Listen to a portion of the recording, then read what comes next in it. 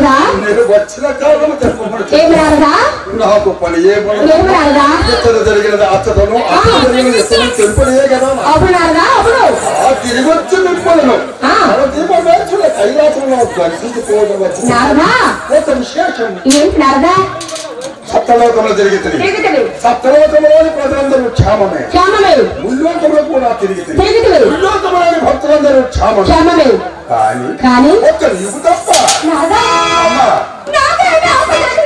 అందరి పడకమమ్మ? అంత దూరం నుండి శ్రమ